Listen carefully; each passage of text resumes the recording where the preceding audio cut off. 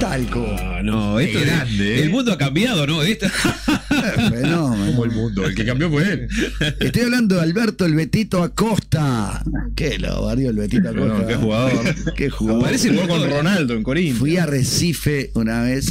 En Recife la rompió. El náutico. El náutico, el náutico la hizo chiquito. Bueno, estuve comiendo, me acuerdo, estuvimos comiendo todos ahí, nos invitaron los periodistas con los dirigentes del náutico. Mirá. Lloraban cuando hablaban del Betito Acosta. Claro. La rompió, la descosió. Y después fue el Corinthians. sí. Tremendo. Con Ronaldo. Con Ronaldo. Con- o sea, con el no es que jugó con Ronaldo. Alberto y con Julio cual. Con Ronaldo. Tuvo la, vos, pará, tuvo el privilegio de jugar con Ronaldo. Con de los mejores nueve del mundo que se ha considerado. Exactamente. Verdad, ¿no? Está considerado como uno de los mejores nueve de la historia. De la historia, claro. Bueno, Beto, ¿cómo te va? Julio Ríos por acá.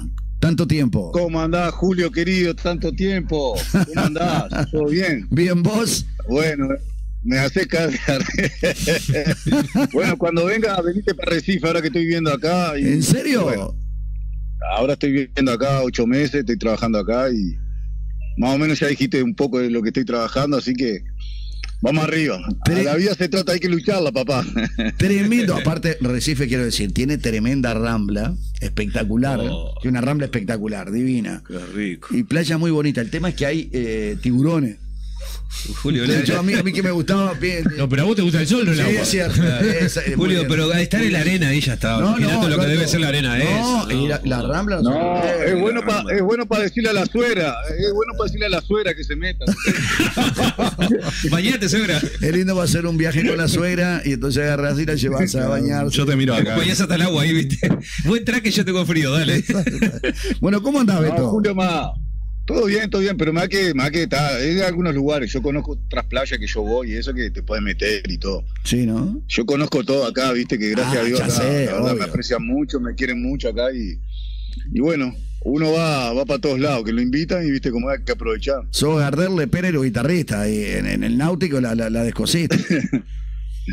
Sí, la verdad, eh, yo viste que no soy mucho de hablar de mí, ma, muchas gracias, la verdad, el cariño que me tiene acá la gente. A veces me pellizco, viste, porque cómo me tratan a mí, mi familia. Qué lindo. Eh, eso. el Beto se ríe, viste, que yo a veces hablo con mi viejo, eh, que él, él ha venido, viste, y claro, no pagas nada, te vas a los restaurantes, no pagas nada, vas acá, no pagas nada, vas. Dice, está igual que Uruguay. Qué lindo eso. La verdad que, bueno, es una caricia para el Ah, alma. Y te lo ganaste. Y es un, es un reco- reconocimiento lindo, viste, que te da la gente y, y bueno, y uno como extranjero, viste, a veces le da más valor porque está fuera de tu país y, y el cariño que te tiene la gente. Pero bueno, la verdad que yo como siempre no cambio, sigo en la misma. Y creo que ese es mi carisma que... Pero está, la gente de Náutico, la verdad, la verdad que me tiene un cariño que es increíble. Siempre fuiste el mismo, Betito. La verdad que siempre fuiste el mismo. Cierto. eh, siempre. Eh, anduvieses volando futbolísticamente. ¿Qué he hecho? Mirá que hemos hecho cantidad de notas, ¿no? Pero vamos a utilizar por lo menos cuatro Ah. minutos, después charlamos un poco de la selección brasileña. Eh, vos arrancaste tarde en el fútbol profesional y sin embargo, eh, bueno, llegaste a jugar en Peñarol, obviamente, por supuesto.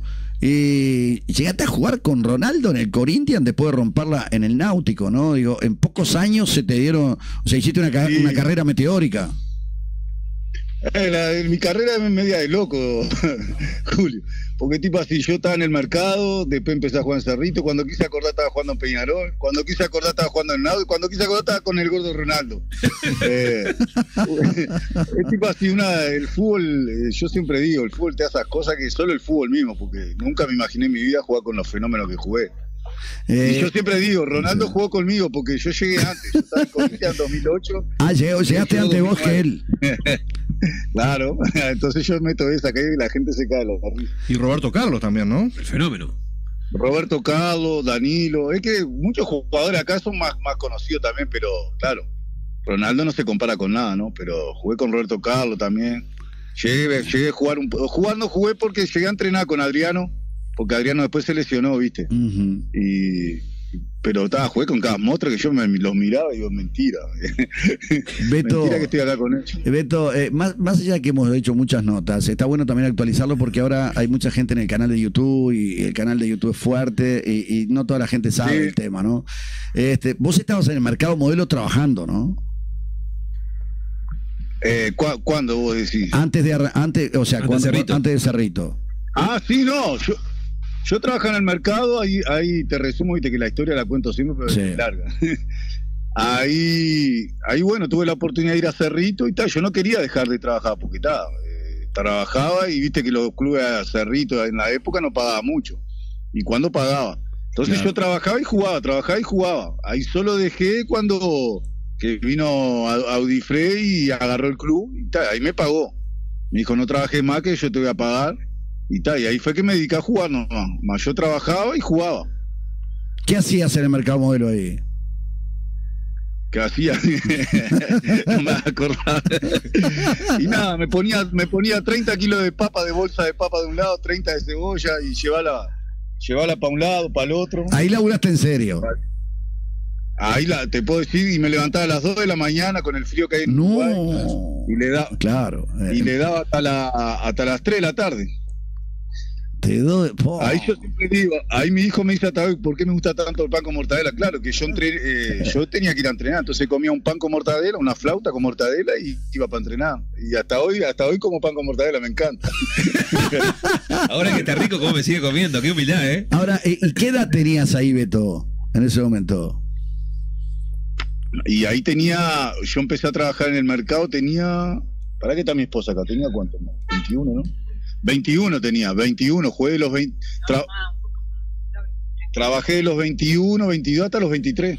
Claro, pero eso, a eso me refiero, que no es normal que llegaste al profesionalismo hasta lo- a los 22, 23 años, ¿me explico? Eh, no, no, no, eso no se da normalmente. Ah, no. No, claro, fue así, no. Yo jugué en Wander siempre de, de chico, hasta Ajá. los 15 años. Hasta los 15. 15 años jugué en Wander. Eh, después yo pasé para la luz, que jugué en la Serie B en la luz. Y ahí fue en la luz que me subieron para. Bueno, que jugué en la. de profesional, jugué unos 10 partidos con 17 años. Ahí, ahí fue que mi esposa quedó grave, de la- embarazada de la gemela. Y, ta, y ahí me fui a trabajar, que fui a trabajar. Primero, primero trabajé vendiendo golosina, que entregaba caramelo y esas cosas en los kioscos. Y después fui a trabajar al mercado. Qué bárbaro, increíble. Y después, de, y después de ahí fue meteórico, porque desde que llegaste a Cerrito, Cerrito rápido. Peñarol. Vos, Julio, una cosa de loco, fue todo, mi historia es... Cuando quise despertarme estaba en Corinthians, que es un mundo, pero estaba, me acuerdo, obvio. Eh, jugar en Peñarol fue un sueño, porque era mi sueño de, chico, de, de jugar en Peñarol. Mi sueño siempre fue de, ser un jugador profesional, solo eso, y tal. La verdad, que Dios, Dios, gracias a Dios, me dio más, porque me dio una carrera brillante, más, más de la que yo esperaba. Y, y de ahí al náutico, y en el náutico fue impresionante, ¿no? Tuviste un accidente también que casi te cuesta la vida en Brasil. Sí, ni me... tres días, tuve tres días en el CTI. Tres días en el CTI, ahí, bueno, me desperté, ta, ahí me desperté, no entendía nada, porque estaba en el CTI, viste, gracias a Dios ustedes no estuvieron tan malos que se están para ahí que los que se están para No, yo estuve 15 días en un CTI, para, para, para un poquito, tuve 15 días. Con Ah, una, bueno, entonces con una pancreatitis. te- Te voy a decir una cosa, tuve 15 días con una pancreatitis y los tres que estaban al costado mío murieron lamentablemente. Ah, bueno, yo pasó, no sé si murió más, cuando me desperté que estaban todos más para el otro lado que para acá, bueno, me saqué todo lo que me habían puesto y grité y, y bueno, está, ahí me dijo, se despertó, se despertó y está. Gracias a Dios estoy para contar, la estoy contando. Esa, esa era cuando estabas en Corinthians, ¿no? No, fue en Náutico. Ah, en Náutico. en el final. Casi cuando terminando el campeonato. Que fue una de las cosas que, que yo me perdí los últimos cinco partidos por eso. Jugué nomás con Flamengo el último partido, fue creo. Claro, y ahí y de ahí del Náutico te vas a Corinthians. Ahí fui que fue para Corinthians me compró. Me compró Corinthians de Náutico y, ta, ahí fue que jugué dos años y medio. Claro, aparte- Salimos, gracias a Dios, salimos campeones. Y, ta, la verdad, Corinthians es un mundo. eh. Eso te iba a decir. ahí que, tremendo, ¿no? Eh, es una no, es una cosa inexplicable. Tenés 70 periodistas todos los días, 3.000 personas en el, en el entreno todos los días. Eh, no puedes salir mucho a ningún lado porque, viste, la, la hinchada está, está por todos lados. Son 40 millones de hinchas, así que imagínate. Terrible. Hasta hoy, hasta hoy que vivo acá en Recife me dice, ah, Corinthians, no sé qué. Los locos están por todos lados. Beto, ¿y, y, y cómo fue verlo al gordo Ronaldo por primera vez? Porque está, está salada esa ser compañero del gordo Ronaldo. Sí, tipo así. No, ta, nosotros estábamos, yo llegué en 2008, fuimos campeones y subimos. Fuimos campeones y subimos de Brasilerao. Y está, 2009, está, eh, ya ahí estaban diciendo, se especulaba que Ronaldo iba a llegar, el presidente también dijo, solo que el presidente de, de Corintia, él es muy de joder, hacía muchos chistes así, jodía. También fue Lula una vez, el presidente también fue, ahí cuando fue, Mirá. no podría creer nadie. Entonces cuando llegó Ronaldo, nadie que podía creer, lo miramos como todo, todo- todos los jugadores asombrados, "Pa, ¿qué está haciendo este monstruo acá? Y, y bueno, está, y después, viste, después uno lo trata normal, a lo primero, eh, a lo primero decir, pa, Ronaldo, me pasó parecido con, con Pablo Montero cuando jugó en Peñarol, que yo lo veía que jugaba en la Juventus, en Italia, y cuando lo vi dije, ta, después lo tratas normal. Claro. Y el loco la verdad que conmigo re bien, yo era muy así, hablaba mucho conmigo porque él hablaba en español, ¿viste? Y, y tomaba mate y le gustaba los asados y, y bueno, y a veces iba escondido para casa a comer un asado y eso, a tomar unos mates y eso. Qué increíble, ¿eh? Qué increíble. ¿Quién te iba a decir, eh? ¿Quién te iba a decir? No, eh? pucha, Beto. El ¿eh? fútbol, mira que te da el fútbol. De estar en el mercado trabajando, cebándole mate a Ronaldo. ¿Y Roberto Carlos? Roberto Carlos también, pero él era más, él era más tranquilo, ¿viste? Es más era más. Más, más, más se quedaba en la, en la de él, así, ¿viste? No, jode- no, no era mucho de joder y era más serio, más serio, sí, pero hablaba bien, bien de bien, el loco. El Ronaldo se acordaba mucho de Recoba, de Recoba, siempre me hablaba de ¿En Recoba. serio? Siempre me hablaba de Recoba, me decía, qué jugador, Claro. el mejor jugador que jugué. Y eso para que siempre digo, ¿viste? Y el Recoba está obvio que es valorado en Uruguay, ¿no? Pero para que Ronaldo diga todo eso, ¿viste? La verdad, siempre se acordaba. Todo, siempre que hablaba alguna cosa de fútbol con él, me decía, pa, aquel zurdo sabe lo que era Recoba, pa, el chino era una cosa de loco. Mirá vos. ¿no? Mirá, increíble. Ese ¿eh? Inter tenía un equipazo, ¿no? En su momento, con Zamorano daba la vuelta. también. Totalmente, ni hablar.